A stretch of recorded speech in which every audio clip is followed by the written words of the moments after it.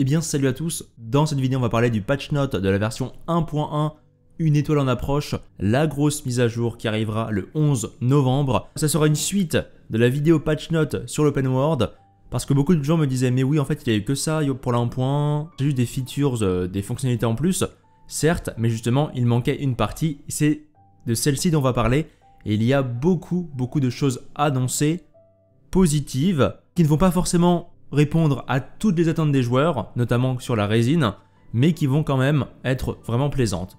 Premièrement, une mise à jour aura lieu. Une mise à jour à partir du 11 novembre à 6h du matin UTC plus 8. La mise à jour devrait durer 5 heures, mais c'est sujet à changement évidemment, ça peut durer plus longtemps. Donc pour le PC, il faudra juste redémarrer le launcher. Pour iOS, il faudra aller sur l'App Store. Pour Android, il faudra aller du coup sur le Google Play. Et pour PS4, il faudra aller sur le système PS4, prendre Genshin Impact et appuyer sur le bouton Options pour vérifier si des mises à jour sont disponibles, tout simplement. Donc ensuite, 6h du matin, UTC plus 8, on va aller voir vite fait sur Time and Date à quoi ça correspond chez nous, heure de Paris. C'est UTC plus 8 ici, hein. Voilà, time zone, comme c'est écrit. Attention, si je me trompe, c'est pas de ma faute. Hein. UTC plus 8. Donc voilà. On veut que l'heure, ça soit 6h du matin. Donc on va mettre même le 11 novembre à 6h du matin. Tac, 6h du matin, parfait à heure de Paris. Hop, Île-de-France, France-Paris.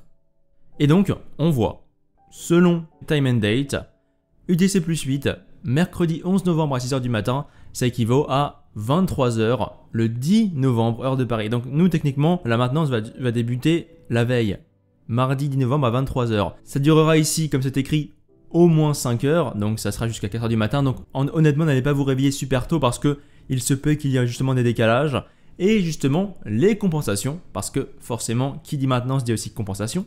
Nous aurons 300 primogèmes, donc ça, on les empoche, 300 primogèmes, quand on recevra 60 primogèmes par heure de maintenance. Cette compensation sera maintenue même si la maintenance se termine plus tôt que prévu. D'après ce que je comprends, ça veut dire que si par exemple on a 5 heures de euh, maintenance qui sont prévues, eh bien ça veut dire qu'on aura 50 x 60 parce qu'on a 60 primogèmes par heure, donc ce qui équivaut bien à 300 primogèmes. Voilà. Donc 300 primogèmes pour la maintenance, donc ça on prend. Pour avoir ces récompenses-là, il faudra être AR5 ou plus, et il faudra se connecter avant le 14 novembre. Et bien sûr, on recevra ça dans la boîte mail. De plus, justement pour décaler sur le gain de primogèmes, parce qu'au moins ce sera fait, eh bien on aura des primogèmes en plus parce qu'on aura l'instant présent, une bonus de connexion quotidienne. Il faudra être AR5 ou plus, on aura 3 leçons du héros le premier jour, 6 renforcements mystiques en minerai le deuxième jour, 100 primogèmes le troisième jour, 50 000 moras le quatrième jour, 5 leçons du héros le cinquième jour, 10 minerais de renforcement mystique le sixième et 200 primogèmes le septième. Donc une semaine de bonus de connexion. Donc au total, avec la maintenance et avec le bonus de connexion, on est à 600 primogèmes. 300 pour la maintenance et 300 pour euh, la bonus de connexion en 7 jours. Donc 600 primogèmes offerts par le jeu comme ça. Ensuite, détail de la mise à jour, qu'est-ce qui aura lieu dans la 1.1 en plus des mises à jour de l'open world dont je vous ai parlé plus tôt. Le lien de la vidéo sera dans la description si vous l'avez manqué. Maintenant, on est parti. On aura un nouveau personnage, Tartalia, le 11e exécuteur des Fatui appelé Tartalia, donc Child, ça on l'avait vu. Il s'est fait connaître en gagnant de nombreux combats. Et aussi Diona, cocktail façon queue chat, cryo 4 étoiles. Une jeune fille au sang pas tout à fait humain, elle travaille comme barmaid à la queue du chat où elle est très appréciée. Et on aura le vœu, événement Adieu Honor, qui sera disponible après la mage 1.1 jusqu'au 1er décembre à 16h. On pourra justement avoir Tartalia, 5 étoiles, mais aussi Diona, 4 étoiles, Beidou, 4 étoiles, et Ningguang, 4 étoiles, qui seront en rate-up. Également, il y aura une version d'essai, et si c'est on pourra tester tous les personnages et avoir une récompense jusqu'au 1er décembre. Donc voilà, si jamais vous vous doutez pour le gameplay Tartalia, eh bien vous pourrez le jouer, vous pourrez même voir la constellation. Mais d'ailleurs pour Tartalia, je pense que je ferai une vidéo faut-il invoquer comme j'ai fait pour Klee, parce qu'on a des infos sur ses sorts, etc.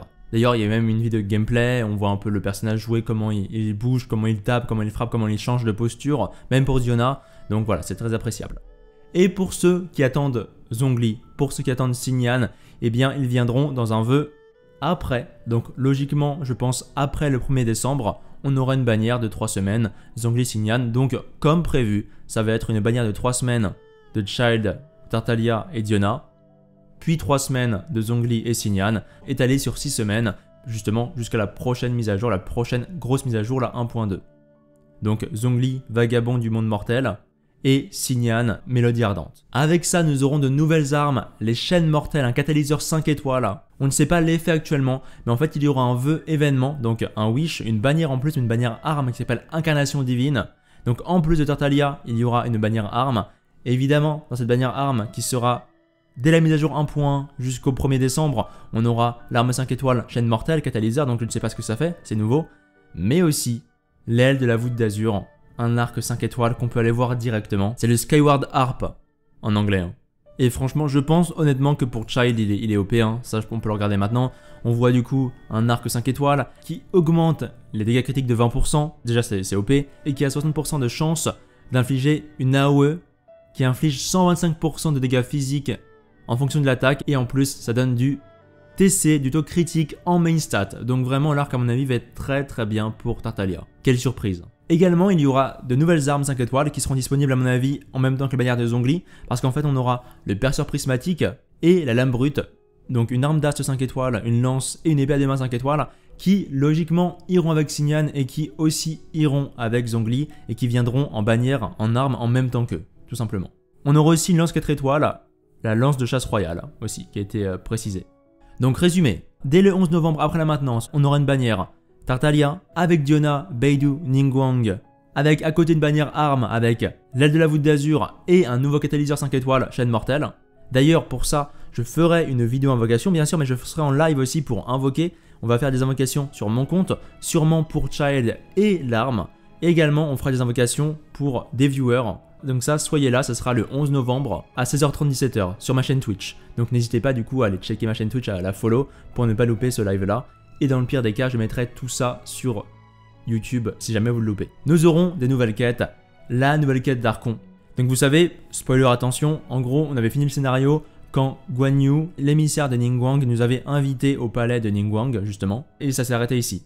Et donc, après la mise à jour, on aura la quête d'Archon chapitre 1, acte 3, une étoile en approche, le nom de la mise à jour en soi, et on aura des primogèmes, des matériaux de renforcement, de l'XP des personnages et d'autres récompenses en faisant la quête, des points d'aventure logiquement, donc voilà, ça c'est enfin une quête. Nous aurons aussi de nouvelles quêtes d'histoire qui seront liées logiquement aux personnages.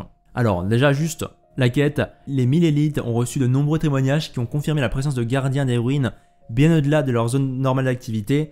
Après quelques recherches, vous constatez que ces gardiens des ruines sont en fait des jouets pour un certain petit garçon. Et ça, attention, spoiler, si vous avez fait la quête de Ventil me semble, c'est ça parle de Timmy. Timmy, vous savez, celui qui au début de Mondstadt et quand on s'amuse un peu à, tuer ses pigeons, eh bien voilà.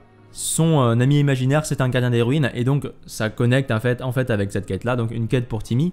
Ensuite, les quêtes d'histoire, Monocyrose Kaeli, acte 1, mobilisation, avec justement Tartalia, donc une quête d'histoire sur Tartalia, ça c'est excellent, parce que non seulement on aura sa bannière, mais aussi, eh bien, sa quête et son lore. Je pense que ce sera du coup disponible à la R40, vu que Mona c'est R38, donc il faudra être à R40, je pense. Hein. Après, je dis ça, mais c'est peut-être pas, le cas. On aura des primogèmes, des codex, des cristaux et de l'XP d'aventure. Ça, c'est extrêmement bien avec du lore. Donc, franchement, en termes de quête, on aura la quête de Timmy, la quête d'Archon principale et quête d'histoire avec euh, le lore de Tartalia. Et en plus, on aura après la quête Historia Antica Acte 1, Salle Florée, qui sera après Child parce que ça sera logiquement la quête de Zongli, je pense en tout cas. On aura des nouvelles quêtes du monde, donc affaire de la guilde des aventuriers, Formalité indispensable, richesse littéraire, le compagnon de Chang Chang, énigme à Tiananmen, poème pour la cité et recherche sans fin. On aura des morades, de l'XP d'aventure et des codex, etc., etc. Donc ça nous fait 7 nouvelles quêtes du monde, une nouvelle quête d'histoire pour Tatalia, une nouvelle quête pour Timmy, une nouvelle quête d'histoire principale et plus tard une quête pour Zongli. Je pense pour Zongli en tout cas. Nous aurons de nouveaux événements, événements thème de la version Astre évanouie. Donc l'événement durera du 16 novembre jusqu'au 30 novembre, donc deux semaines. Et justement, c'est la quête, vous savez, qu'on avait vu dans le stream chinois. On pouvait voir un groupe de joueurs, donc en coop, quatre joueurs qui se battaient pour mettre une énergie au centre de la map, un peu comme le fourneau élémentaire. Et on va du coup remplir ces étapes-là. Ça coûtera de la résine normalement. Normalement, ça coûtera de la résine pour les récompenses. Mais on pourra du coup avoir des récompenses qui nous permettront d'échanger dans une boutique des matériaux d'élévation, des leçons de héros, minerais de renforcement mystique, des matériaux d'aptitude, donc les grimoires, une couronne de la sagesse pour les aptitudes 9 et 10, donc c'est bien plus haut. Et aussi, on pourra terminer le pacte de la princesse, un défi pour obtenir Fischl, 4 étoiles électro. C'est un des meilleurs personnages du jeu en termes d'efficacité. Elle est vraiment ultra forte. Si vous n'avez pas Fischl, soyez content parce que c'est vraiment très très fort Fischl. Voilà, c'est extrêmement bien. Ça peut être joué en main DPS, mais aussi extrêmement fort en support DPS avec son euh, oiseau, son corbeau. Donc c'est excellent. Et aussi plus tard, on aura défi de planage et servir chaud. Donc deux events qui auront lieu plus tard, je pense, peut-être quand Zongli arrivera. Donc trois semaines plus tard. Nous aurons la réputation, ça on l'a vu dans la vidéo précédente. Donc AR25 avec toutes les nouvelles features, donc vidéo qui sera dans la description. Donc n'hésitez pas à aller la checker pour avoir les news à ce niveau-là. Donc je vous rappelle, terminer la quête d'Archon à Mondstadt et aussi celle à Liyue. Donc acte 2 à Liyue et acte 1 à Mondstadt. Et bien sûr, le système de réputation pourra être augmenté, vous aurez des récompenses adéquates. Système d'exploration, pareil, archive, pareil, archive personnage, pareil, ça, ça a été déjà vu dans la vidéo précédente. Autre nouveau contenu. Alors, nouvelle recette disponible à l'achat au restaurant One Min. Pâté aux trois saveurs, à l'auberge Wangshu, soupe de porc aux pousses de bambou. Très bien. Nouveau succès, nouveaux objets dans la nature, pousses de bambou et loge d'or justement pour crafter les, les recettes. Nouveau monstre, Brutocolinus étrange, le Wei, c'est ça le nom en chinois, on pouvait le tuer pour avoir des récompenses, c'était un event. Ensuite, et ça, ça va en faire des heureux, moi y compris, ajout de fonctions de personnalisation pour le clavier et la manette dans paramètres, commandes. Sélectionner une fonction pour modifier la touche ou le bouton qui lui est attribué. Et donc ça, c'est excellent parce qu'on pourra attribuer n'importe quel bouton, n'importe quelle touche, enfin le remapping de touche. Ça veut dire que par exemple, si vous en avez marre d'appuyer sur A pour faire l'ulti, vous pouvez du coup tranquillement le rebind. Même, on n'aura plus à passer en QWERTY. Et ça, c'est excellent. Donc enfin, on va pouvoir rebind manette, apparemment, mais aussi clavier. Ça, c'est excellent. Également, ajout de nouvelles options graphiques dans, euh, les paramètres. Brouillard volumétrique, reflet, bloom, et aussi densité de la foule et effet allié multijoueur. Ça, c'est bien, parce que effet allié multijoueur, des fois, on comprend rien, parce que ça pète de partout en coop, en donjon, quand il y a 4 joueurs. Donc là, ce sera beaucoup mieux. Également, on pourra ajouter une caméra de combat et distance de la caméra par défaut. Comme ça, ça ne pourra plus en fait être bougé normalement. C'est vrai que des fois, la caméra se, zoome ou se dézoome aléatoirement et c'est un petit peu chiant. Donc là, ça sera plus le cas d'après ce que je dis. Ensuite, système, une fonction de verrouillage des équipements. Enfin, on pourra verrouiller ses armes et ses artefacts pour ne pas avoir à les foutre et pour ne pas avoir à galérer pour upgrade ses artefacts. Et aussi, on pourra report les joueurs en coop. Voilà, ça c'est. Euh, je ne sais pas pourquoi, mais ça peut aller. Voilà, si par exemple vous avez un cheater, vous le reportez. Donc là, il précise l'heure du serveur est différente entre, différents serveurs. Hein. Donc Europe, c'est UTC plus 1. Donc ça, on peut rechecker dans la time and date. J'ai mis bien 11 novembre, UTC plus 8, comme écrit sur le patch note, à 6h du matin. Et c'est le 10 novembre, mardi, à 23h, heure de Paris pour nous. Donc la maintenance durera au moins 5 heures. Donc estimez qu'à 4h du matin, ça sera encore en maintenance. Donc en vrai, limite, réveillez-vous tranquillement à 7h, 8h comme d'habitude. Et hop, vous pouvez du coup accéder à la, à la mise à jour. Ensuite, nouveau pass de bataille météorite avec les mêmes armes qui sont là, donc l'arme, la Black Sword, tout ça, donc vraiment des armes qui sont classiques. Donc pour le Battle Pass R20 ou plus, il faudra payer le pass Gnostic pour avoir les armes.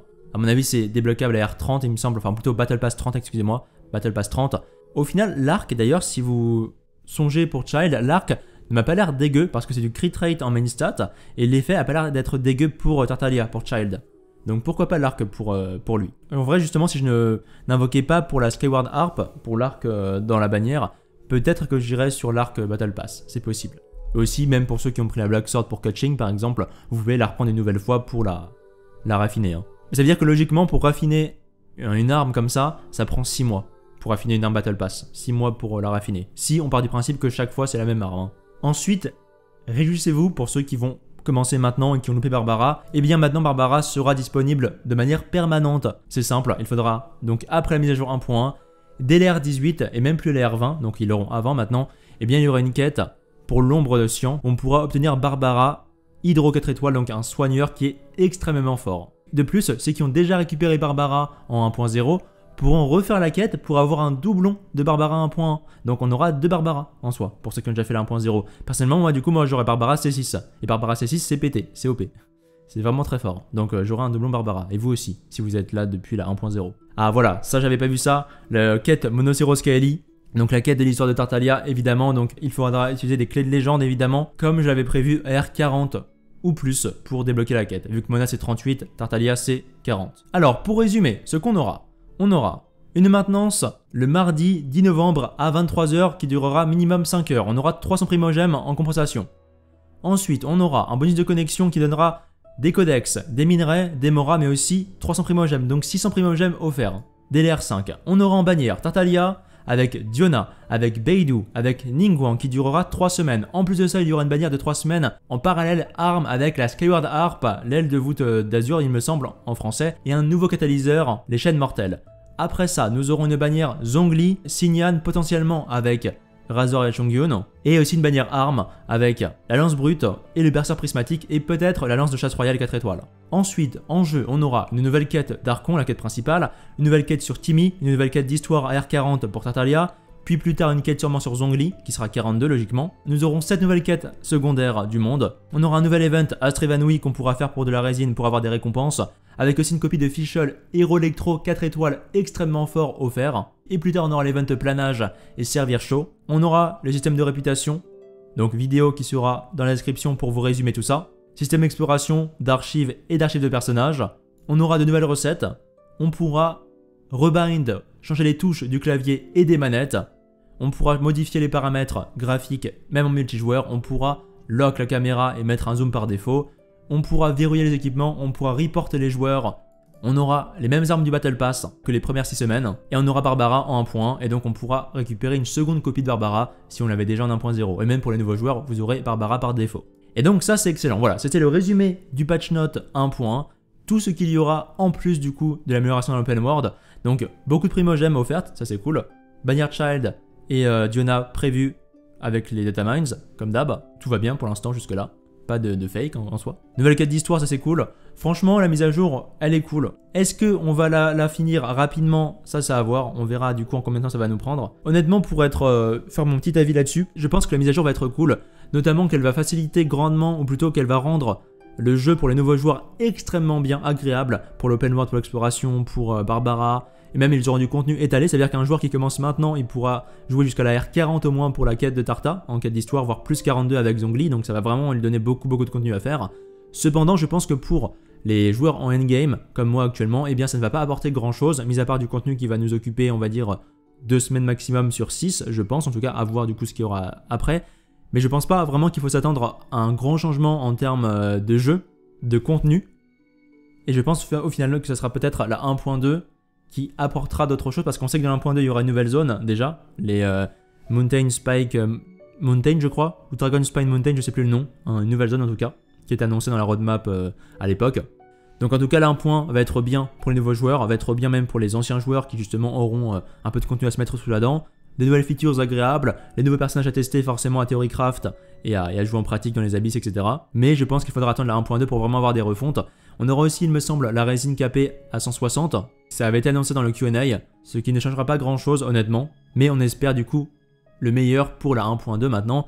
Et la 1.1, on l'accueille aussi avec bras ouverts, moi en tout cas je l'accueille avec bras ouverts. Nouveau contenu, nouveaux, nouveaux personnages, nouvelles features, pourquoi pas. Ça va pas nous tenir en haleine 6 semaines, mais ça sera déjà ça, donc moi je prends. Allez sur ce, on se dit à la prochaine. Dites-moi ce que vous pensez de la bannière dans les commentaires. Et si du coup vous avez pull Child ou non, je ferai une vidéo faut-il invoquer Child, Tartalia et Diona elle est prévue, elle est prévue avec du coup euh, les sorts, les builds prévus, le farm à faire. Et sur ce, n'hésitez pas à mettre un like et à vous abonner à la chaîne si la vidéo vous a plu pour du contenu sur Genshin Impact. Également, il y a un lien Twitter, Twitch, Discord dans la description et aussi du coup un lien pour voir la mise à jour sur l'open world que je vous invite vraiment à regarder. Et aussi toutes les sources dont j'ai parlé ici seront dans la description également. Allez, portez-vous bien et à plus.